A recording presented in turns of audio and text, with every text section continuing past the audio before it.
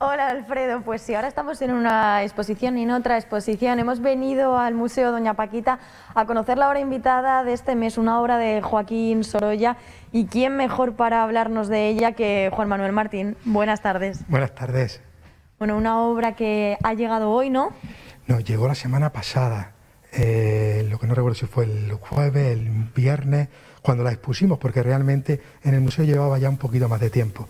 Desde que el coleccionista Manuel Alonso, que es el propietario, pues nos lo envió desde Madrid tras adquirirlo, porque él vive en Alemania y nos dejó custodios de la obra.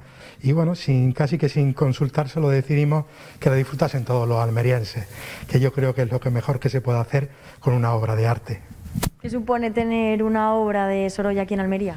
Bueno, pues un lujo. Ya tenemos otra en, Almería, que es la que está en el Museo Ibáñez de Lula del Río, la Condesa de Albox, un retrato magnífico de 1905, pero en este caso los almerienses en nuestra ciudad, sin tener que desplazarse, tienen la oportunidad pues, de disfrutar de un cuadro de 1900, el mismo año que a Sorolla le van a dar el gran premio en la exposición internacional de, París y una obra donde Sorolla se muestra como un retratista magnífico, como va a ser casi a lo largo de toda su carrera, pero ya en, esos inicios en los que comienza a trabajar el retrato como algo habitual. Normalmente siempre conocemos a Sorolla por sus escenas de playa, por sus escenas costumbristas, sin embargo Sorolla fue uno de los de uno de los retratistas más demandados por la alta sociedad española y sobre todo, sobre todo la gran burguesía madrileña de aquel tiempo. Y es que hay que recordar que eh, Sorolla cobraba por un cuadro de este tipo, allá por 1900, 1905, del orden de, los, de las 5.000, 6.000 pesetas.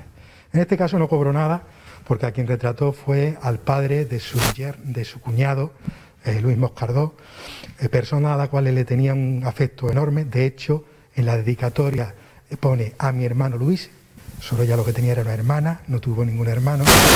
bueno, al final lo que nos habla un poco es de esa relación tan íntima que mantuvo, sobre todo con la familia de su mujer, de Clotilde, que fue la que tomó como familia propia, ya que Sorolla, pues bueno, desde los dos años estaba, eh, se quedó sin padre y tuvo, una vida un poco azarosa, aunque bastante buena, gracias a los tíos que lo acogieron.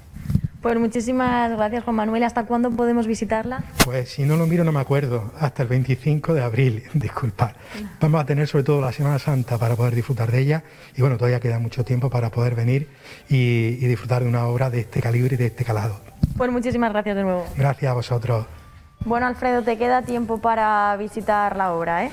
Estaba mirando el reloj para ver si llegaba, pero bueno, lo, mejor es que eh, el día que vayamos a ver la exposición de alfareros, antes nos pasamos por la casa de Doña Paquita.